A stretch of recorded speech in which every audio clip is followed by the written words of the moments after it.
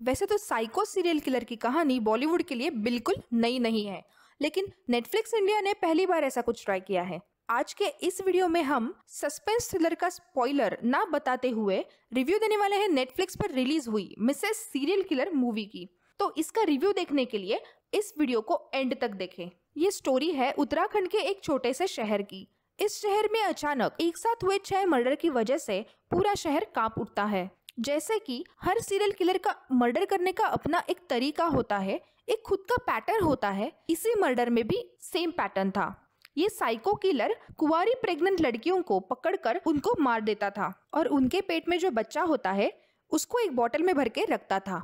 अब ये किलर कौन था और वो ऐसा क्यों कर रहा था? और क्या उसको पकड़ने में पुलिस कामयाब होती है या नहीं? ये जानने के लिए आपको ये फ़िल्म देखनी होगी। अब देखते हैं इस मूवी की ब्राइट साइड इस मूवी का लोकेशन बढ़िया है। पहाड़ी एरिया होने की वजह से फ़िल्म देखने में बहुत मज़ा आता है। वैसे तो इस मूवी में गिन के पाँच ही कैरेक्टर्स हैं। भोकाल और उरी जैसे बढ़िया प्रदर्शन के बाद मोहित रैना से ऑडियंस की बहुत उम्मीदें थी और इस फ़िल्म में इंस्पेक्टर इमरान का रोल निभाकर वो हमारे उम्मीद पर खरे उतर आए। जैकलिन ने भी अपना रोल अच्छे से निभाया है, लेकिन हमेशा की तरह पूरे शो का क्रेडिट मनोज वाजपेयी के लाजवाब एक्टिंग ने ही ले लिया है। अब जानते हैं इस फ़िल्म की डाउन साइड जब भी नेटफ्लिक्स इंडिया कुछ नया करने का ट्राई करता है तो उसमें उनसे कुछ ना कुछ तो छूट ही जाता है। इस मूवी के बारे में भी ऐसे ही हुआ है। इस मूवी की स्टोरी लाइन तो अच्छी है, लेकिन उसके एग्जीक्यूशन में कुछ ऐसी कमियाँ नज़र आती हैं। बहुत जगह पे अनवांटेड ट्विस्ट देने का प्रयास किया गया है। कुछ सीन तो ऐसे है कि अगर उसको बढ़िया इफेक्ट्स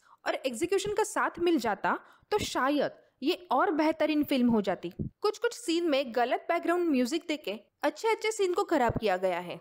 इससे अच्छा तो सिंपल तरीके से भी दिखाते तो भी बात बन जाती। जैकलिन की एक्टिंग अच्छी है, लेकिन उसका हिंदी का उच्चारण आपको बहुत इरिटेट कर देगा। जैकलिन की जगह पे कौन सी एक्ट्रेस को लेना चाहिए? आपको क्या लगता है? आप हमें कमेंट करके ज़रूर बताइए। ओवरऑल पौने दो घंटे की ये मूवी आप नेटफ्लिक्स पे देख सकते हैं। इस फ़िल्म में कोई एडल्ट कंटेंट नहीं है तो आप इसे अपने फैमिली के साथ भी देख सकते हैं।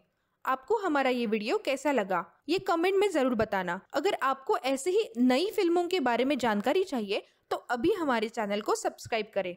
धन्यवाद।